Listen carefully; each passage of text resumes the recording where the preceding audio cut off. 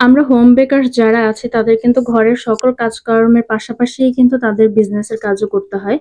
আসসালামু আলাইকুম। আশা করছি সবাই ভালো আছেন। তো আজকে আমি শেয়ার করব আমার সারাদিনের কাজ আপনাদের সাথে। তো এখানে সকাল সকাল উঠে হচ্ছে আমি দুপুরের রান্নাটা কমপ্লিট করে নিয়েছি। তো এখানে ডাল, গরুর মাংস আর হচ্ছে করলা ভাজি করে নিয়েছিলাম। সাথে সালাদও ছিল।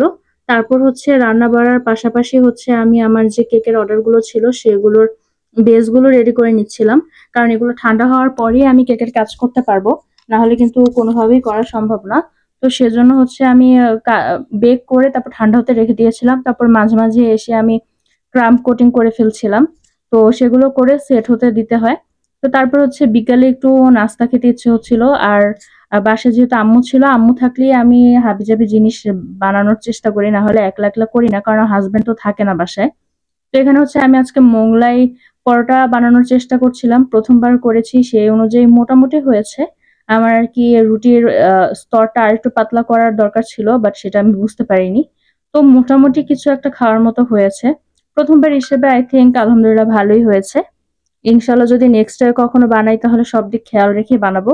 তো এই নাস্তা বানাতে বানাতেও কিন্তু আমি আমার কেকের কাজগুলো করছিলাম। এর পাশাপাশি হচ্ছে নতুন আরও একটা কেকের অর্ডার আসার মাঝখানে এটার ভিডিও আমি শেয়ার করেছি, আপনারা চাইলে দেখে নিতে পারেন।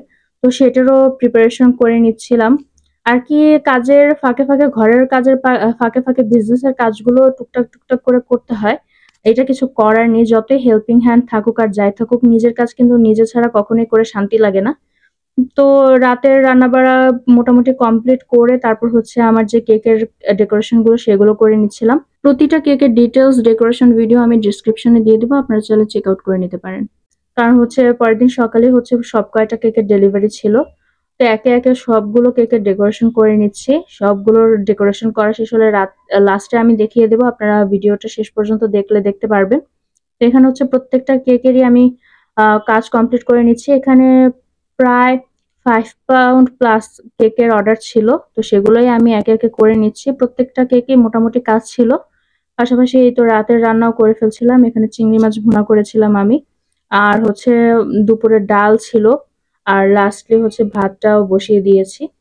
তো এই তো এইসব কাজের ফাঁকে ফাঁকে হচ্ছে আমার কেকের ডেকোরেশন শেষ। এই তো দেখতে পাচ্ছেন, আলহামদুলিল্লাহ প্রত্যেকটা কেকের রিভিউ প্লাস ডেকোরেশন কিন্তু খুবই ভালো ছিল।